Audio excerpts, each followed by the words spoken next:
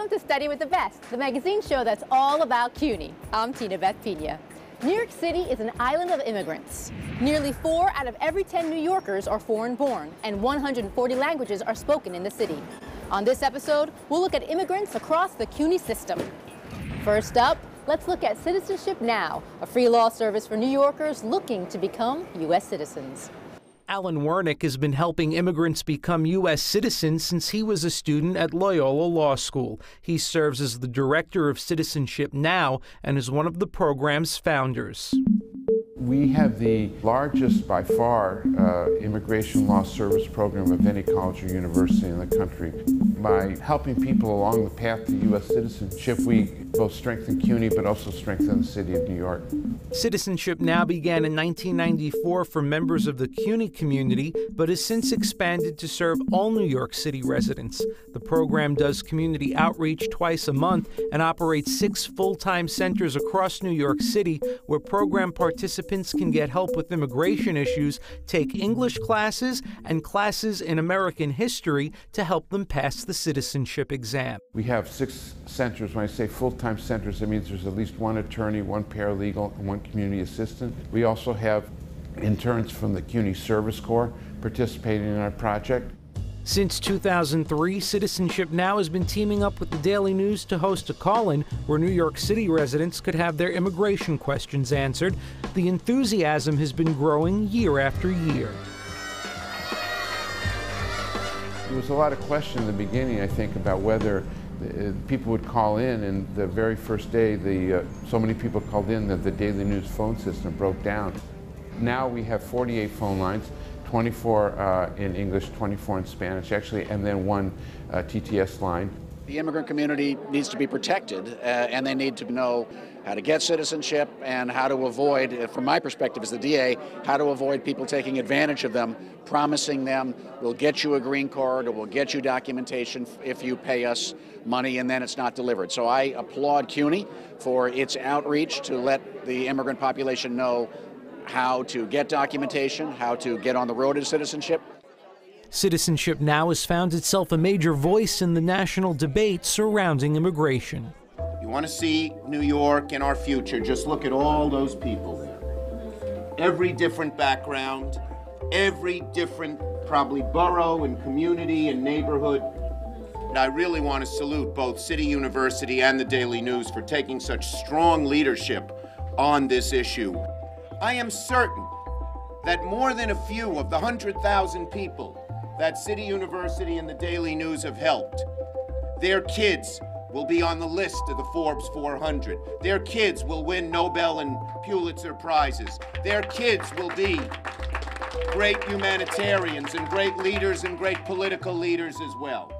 More than 97,000 New Yorkers navigating the complex road to citizenship have benefited from the work they are doing here today. I want to thank CUNY and the Daily News for launching this effort and providing such leadership and vision for our city about what it takes to make a difference in this community. Citizenship now counts 2,000 volunteers among its ranks, venturing out into communities across the five boroughs. We saw them at Hostos Community College in the Bronx, helping a number of permanent residents become U.S. citizens. This is our, signature activity, which is a mass application assistance program where we utilize volunteers, staff attorneys. So when they leave here, they should be able to go to the post office, include their check or their fee waiver application, and send it in. They're ready to go. Wernick also writes a column twice weekly for the Daily News. He says it provides a crucial platform for his work with Citizenship Now, reminding hopeful immigrants that there's free help on the road to becoming a U.S. citizen. Any person who qualifies to become a permanent resident can come to Citizenship Now, and we will find the way to help them become a U.S. citizen.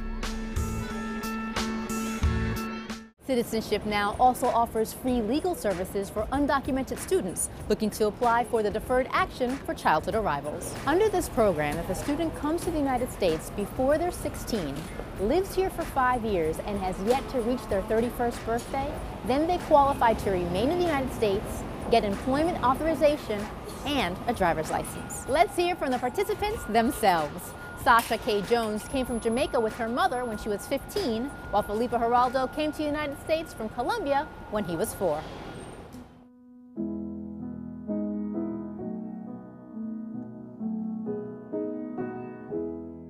The CUNY Citizenship Now role in getting my DACA application was absolutely essential. To know that I could get this application done without having to pay for it, I mean, this is, that was unbelievable. I don't think I would have been able to do it otherwise. It was really the, the hope of some sort of stability in my life. It grants you protection from deportation for two years. You can work, you can apply for a driver's license, um, which is, a, all those things are obviously a big deal. I hope to get my master's in English and to go on being a piano teacher. Education is really my passion.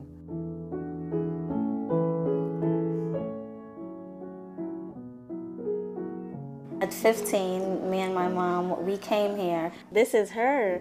She was um, getting Christmas. This was um, when she was in school at the Home Health Aid. She wanted a better life for us, guaranteed. I heard about the, the deferred action for child arrivals from a cousin of mine. I was terrified. I said, oh my God, I don't have the thing. There's no I-94 in my passport. And I'm just scared. I'm just going to go back to Jamaica. I fear going back. This is the first card. This is um, the employment card, which is valid for two years. This is the perfect ID, I think. When my mother came here, she wanted to be a nurse so bad. She didn't have nothing as well, but she got to be the home health aide. And she always wanted that for me. I'm gonna make it happen. It's gonna be in my future. It's actually my mom's seventh memorial since she passed away. And to have this, you know, to been approved, I know she's smiling wherever she is right now. For every immigrant who comes here, there's a success story waiting to be told. Athletes, aspiring policymakers, even super sleuths. They make our country stronger.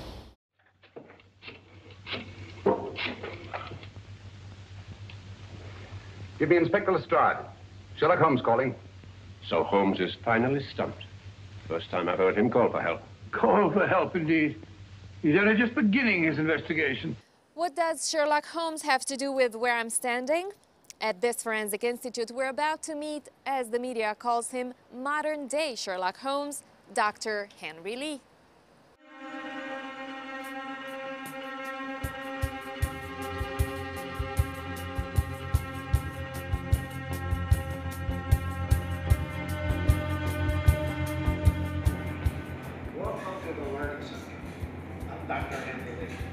Well, Sherlock Holmes is my hero.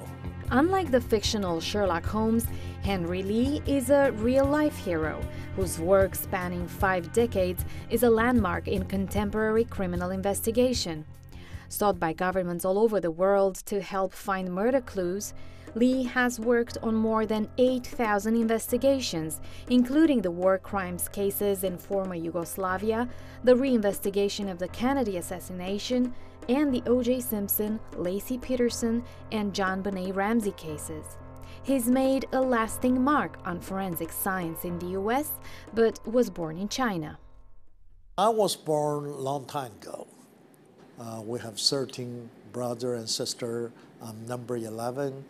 And of course, that time, China have a civil war broken up, and we have, uh, have to flee to Taiwan. My father passed away uh, on his way to Taiwan, the boat sank. My mother literally raised all 13 kids. So a lot of people asking me who I respect the most. I said my mother. They asking me who I scare the most. I said my mother. His mother instilled strong study and work ethics in him, and at 25 years old, Lee became the youngest police captain in the history of Taiwan. That is when he first came face to face with the challenges of crime solving. In 1960s, in Taiwan, the forensic science field is very primitive. Basically, you run up the usual suspect and until one confess. If nobody confess, we usually take them to the back room. Five minutes later, seven confession come out, and uh, of course, we realize a lot of innocent people cannot stand up interrogation, make a false confession. Meanwhile, the real criminal got away. That's why I started interested in their whether or not have a better way to solve the case. A better way of solving cases involved mastering the science of forensics, immigrating to the US and enrolling at a community college, and then in John Jay's College for Criminal Justice, gave him the opportunity to pursue the forensic sciences. John Jay made everything possible for me. After his graduate studies at NYU, Lee embarked on a successful career that included serving as the head of the Connecticut Police Crime Lab a position he held for more than two decades, and as chief emeritus for the Connecticut State Police for another 10 years.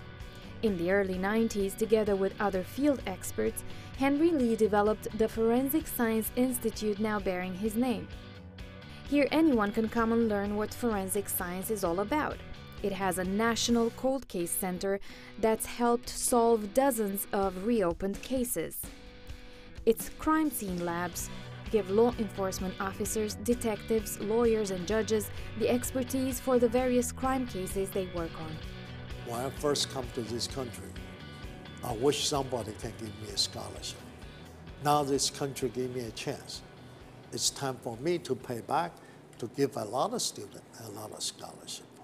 Since its inception, the Henry Lee Institute has trained more than 6,000 practitioners and students from 59 countries a lot of people give me a lot of credit, say I push along, make this field become a major foundation for criminal investigation and uh, for justice system. But in reality, so many good people work together, make that happen. The public attention, make the forensic moving uh, towards what we have today especially those popular TV shows, CSI.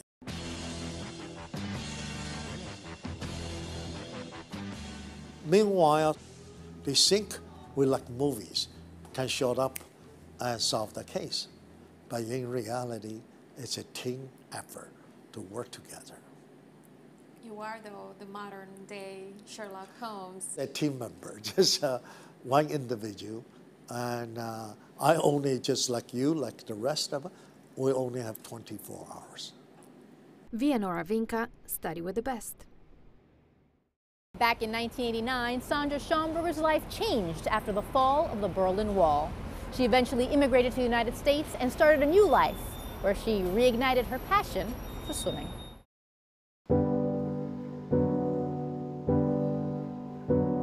I always was more comfortable in the water you swim, you just shut off everything. As a child, it was always something like meditation for me.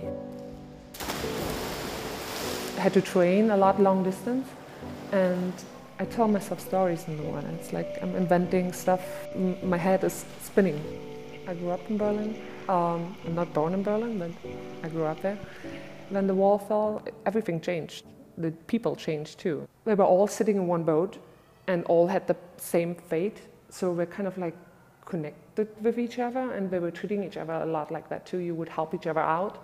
And after the wall fell, that changed. You know, it was more like, like competition.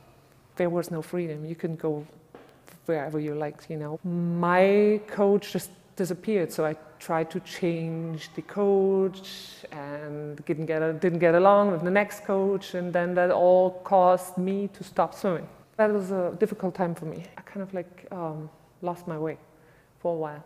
You know, it's like um, you have been always something special and then not anymore.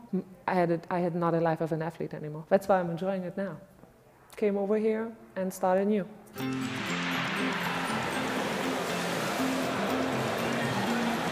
Right before the race starts, it's like you have that, that, that energy, you know, building up, building up, building up, more, more, more, and, and you need to, it needs to get out. It doesn't matter how demanding that race is or that competition is right now, or I take every race serious, no matter what. I think I'm the born competitor. I always want more of myself, you know. It's not only about the winning, it's improving yourself. Sandra not only competes for York College while studying to be a nurse, she also teaches babies how to swim.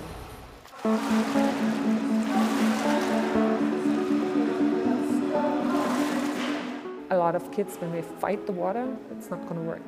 You need to first relax. It's like making it possible for these little human beings to enjoy in a complete different world. They are much more mobile in the water because they don't have the weight on it. It's just one tenth of their original weight on land. They can make connections in their little brains, not possible on land. I'm glad to just have the opportunity to show them, show them this world. I love to see them enjoying it or see overcome their fear and going under with them. And usually in my classes, they're happy to go under. But some of them are really come up smiling.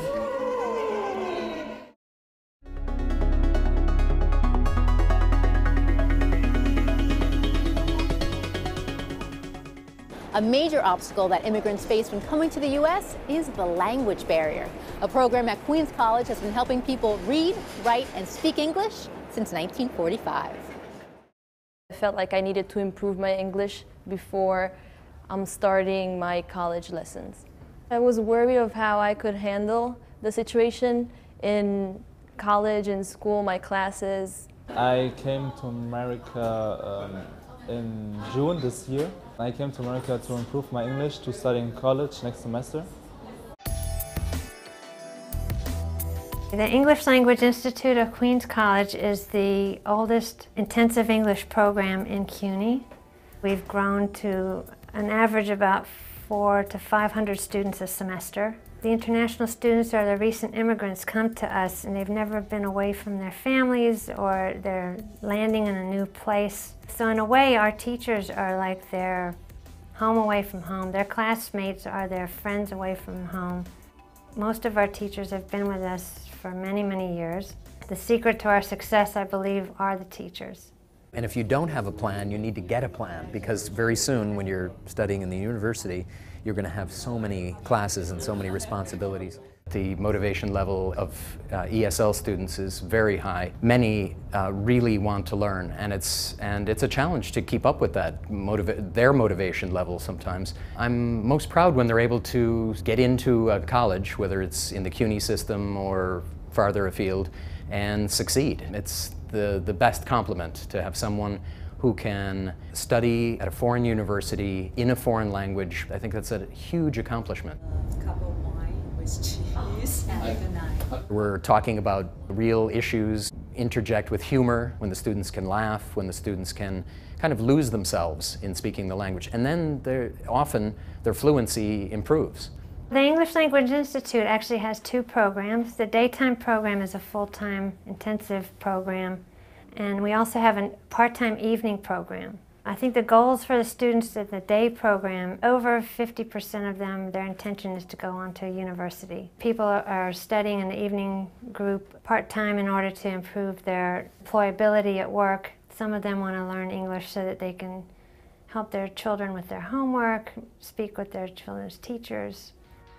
The one thing we face are students that are reticent, perhaps culturally taught to listen more than participate we have to get them to speak.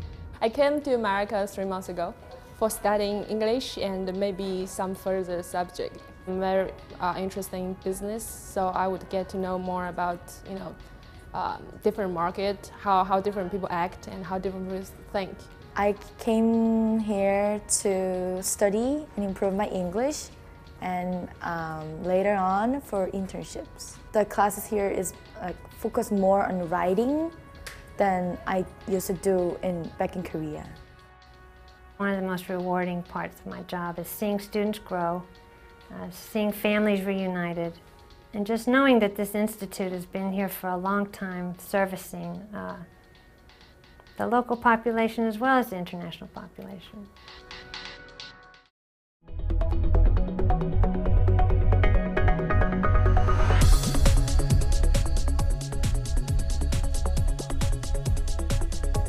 One recent immigrant from the Dominican Republic finds herself on the fast track to a promising career in politics.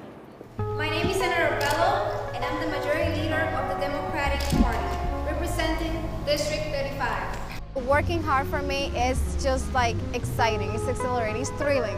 Nayani is currently a New York City Service Fellow in the Mayor's Office, where she oversees seminar training for Civic Corps members, as well as overseeing two initiatives, language services, and support for our troops. Learning how New York City runs is really interesting because there is a lot of things that affect our government. It is really rewarding because first of all, it's what I like to do. I like to serve people and I'm learning a lot. Uh, I am applying what I learned in the MPA program at John Jay. But being a New York City Service Fellow is just the latest accomplishment for Nayani.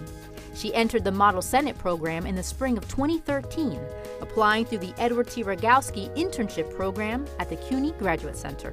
Nayani demonstrated a real commitment to community and public service, and she also demonstrated a very, very strong set of leadership skills that we look for when we accept applications to the Model Senate. The bill that I wanted to pass was to raise the minimum wage to $9 an hour, which I know it's a little ambitious, but you know, that's what I wanted and that's what my group was supporting me with. The fact that I was sitting on the chambers that the real senators, New York State Senator seat, was really rewarding. I felt that I was one of them.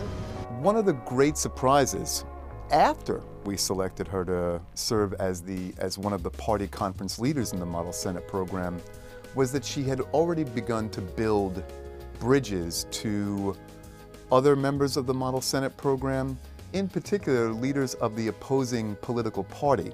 This demonstrated to us that there was something very, very special going on here and that in fact she was going to make a great leader, but she was also going to make a great team player. Nayani put these team building skills to good use later on in 2013, landing a spot in the prestigious and highly competitive CUNY Washington, D.C. internship program during the summer. They sent 12 students from New York City to work in, on Capitol Hill and other nonprofit organizations. So I was really lucky to be placed at on Capitol Hill. So I worked for Congressman Charles Rangel. Working in an actual political office was really thrilling. I worked in two different bills, HIV AIDS bill. When I went to John Jay that I said, I want to be a lawyer and I want to become a politician or a senator, I really didn't know what it was to be a senator or a politician. It involves much more than what I thought it would involve. You are holding the whole nation on your back. Everybody's depending on your decisions. Everything is important. Everything matters. She understands how things work. She understands what the chain of command is in any given situation. And she doesn't overstep her boundaries. She did a program with us in the New York State Senate. She followed that with the most competitive program that we do in Washington. And she's currently working at a very, very high level in New York City government. Nayani is a city, state, and nation.